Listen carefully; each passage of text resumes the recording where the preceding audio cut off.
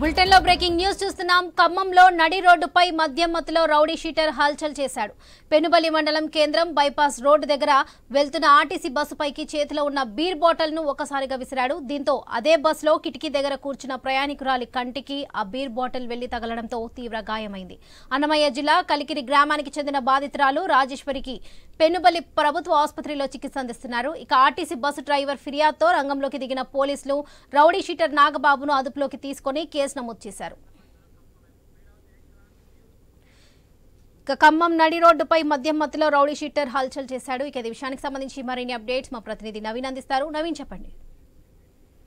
Yes Varalakshmi మనం చూడొచ్చు కొద్దిసేపటి కిందట ఖమ్మం జిల్లా పెనుబల్లి బస్ స్టాండ్లో ఆకతాయిలు అయితే రెచ్చిపోయినటువంటి పరిస్థితి కనపడుతుంది. అయితే గుంటూరు నుంచి ఆ కొత్తగూడెం వైపు వస్తున్నటువంటి ఆర్టీసీ బస్లో కూర్చున్నటువంటి మహిళపై బీరు బాటిల్తో ఇచ్చినటువంటి మనం చూడవచ్చు ఆ మహిళపై బీరు బాటిల్ ఇచ్చిన మహిళ తలకి తీవ్రమైన గాయమైన పరిస్థితి కనపడుతుంది. వెంటనే డ్రైవర్ ఫిర్యాదు మేరకైతే అయితే అక్కడ ఉన్నటువంటి ఎవరైతే గాయమైందో గాయమైన మహిళని ఆ ప్రస్తుతానికి పెనుపల్లి ప్రభుత్వ ఆసుపత్రికి తరలించి వైద్యం అందిస్తున్నారు. ఆకతాయిని కూడా అదుపులోకి తీసుకున్నట్టు పరిస్థితి కాబట్టి అయితే మద్యం మత్తులు ఉండి ఆ బీర్ బాటిల్ విసిరేశారని చెప్పేసి కూడా అక్కడ ఉన్నటువంటి స్థానికులు చెప్తున్నట్టు పరిస్థితి మనం చూడొచ్చు. అయితే డైలీ కూడా అంటే రోజు వారిగా బస్ స్టాండ్ ఏరియాలో కూర్చోవడం అక్కడ వచ్చి వచ్చిపోయే వాళ్ళపై ఆ రాళ్ళు కాకుండా కామెంట్ చేయడం ఇవన్నీ కూడా ఆకతాయి చేస్తున్నారని చెప్పేసి కూడా స్థానికులు చెప్తున్నారు. అయితే రోజు కూడా తను తాగుకుంటూ బస్ స్టాండ్ ఆవరణలోనే ఉంటూ వచ్చిపోయే బస్సులకి ఎవరైతే ఆ గ్లాస్ పక్కన ఆ విండో పక్కన కూర్చుంటారో వాళ్ళనే టార్గెట్ చేస్తూ ఆ పూర్తి తర ర్యాగింగ్గా అక్కడ త- తను చేస్తున్నాడు. అంతేకాకుండా ఆ మధ్య మత్తులో ఉండి ఆ ఉన్న చేతిలో ఏది ఉంటది అది కూడా పూర్తిగా ప్రయా- ప్రయాణికులపై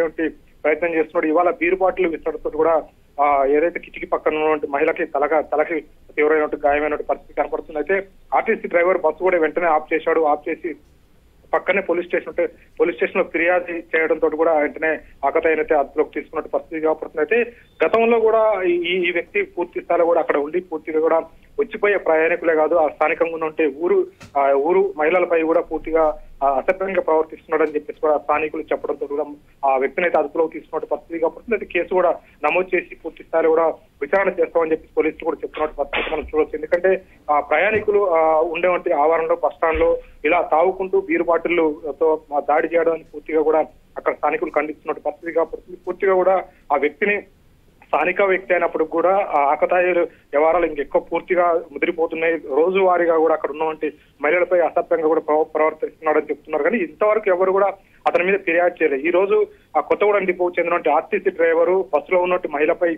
బీరు బాటిల్ తోటి కొట్టడంతో కూడా వెంటనే ఆ ఆ కొత్తగూడెం ఆర్టీసీ డ్రైవర్ ఫిర్యాదు చేశారు కానీ ఇన్ని రోజులు ఆ ఆకతాయి ఆగడాలకి ఎవరు కూడా అడ్డుకట్టేయలేదు ఆ స్థానికులు కూడా సూచిస్తున్నట్టు వదిలేసినట్టు పరిస్థితి కాబట్టి అయితే డ్రైవర్ ఫిర్యాదు మేరకు అయితే కేసు నమోదు చేసి పూర్తి స్థాయిలో కూడా ఆకతాయిని అదుపులోకి తీసుకున్నట్టు పరిస్థితి కనపడతా ఉంది. Varalakshmi right Naveen thank you